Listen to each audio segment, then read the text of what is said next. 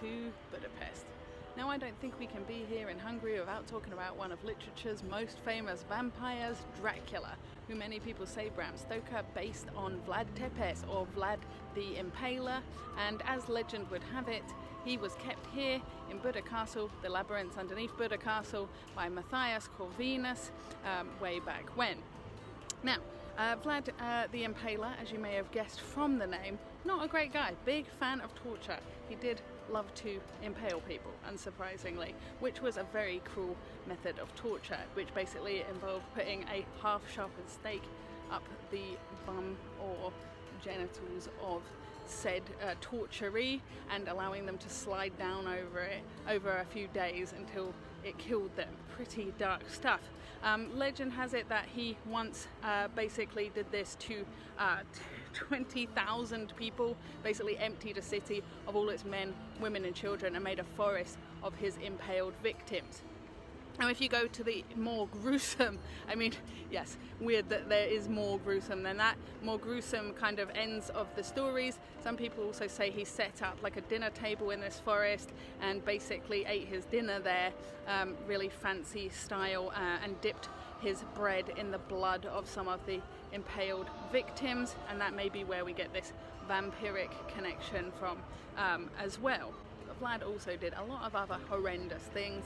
Um, at one point he went to a city, he basically rounded up all of the homeless, um, he invited them to a big hall he built specifically for this occasion um, and he basically set out a lovely feast for them um, and when they went inside locked the doors and set the building on fire. Uh, pretty dark stuff. Um, he also um, used biological warfare. He was uh, quite smart in this way, um, if uh, inherently evil. Uh, so basically, he took a bunch of syphilitic and diseased uh, people, got them to infiltrate um, an army that he was opposing, and basically spread disease throughout their troops.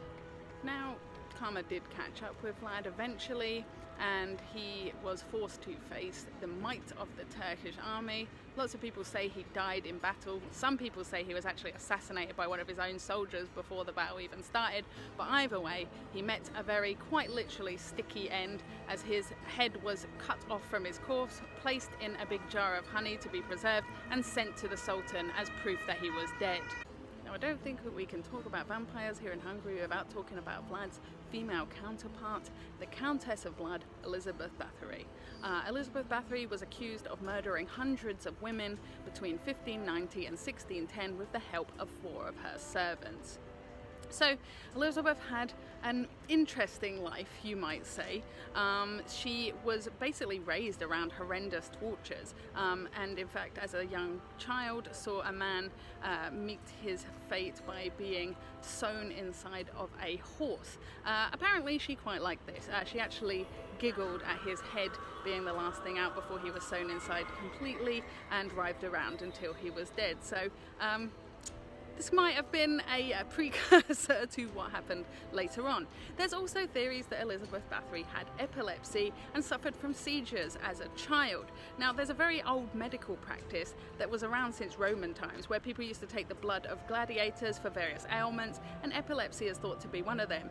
And they would take this blood and rub it into their skin to cure them, which again might be a clue as to what she got up to later on.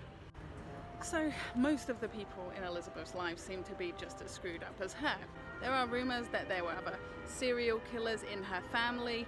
Uh, her aunt Clara Bathory is often spoken about. Um, lots and lots of rumours that she actually smothered her second husband to death. Also that she was a bisexual witch who taught Elizabeth Bathory the dark arts, uh, which is quite an interesting um, theory. When she got married, she married a man who was known to be very vicious and sadistic. Um, they say that he would take the bodies of enemy soldiers and dance around with them and also use their heads to play football. Um, he apparently taught Elizabeth Bathory a lot of torture techniques, although there is some argument over that. Um, he basically did have a torture room built for her uh, to her specifications inside the castle and he showed her how to take young servant girls, smother them in honey, place them outside in the sun and let them get bitten and stung by insects.